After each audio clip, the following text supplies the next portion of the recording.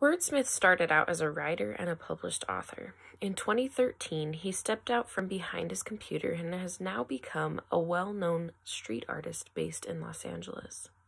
His art is created with words that inspire those who see and read it.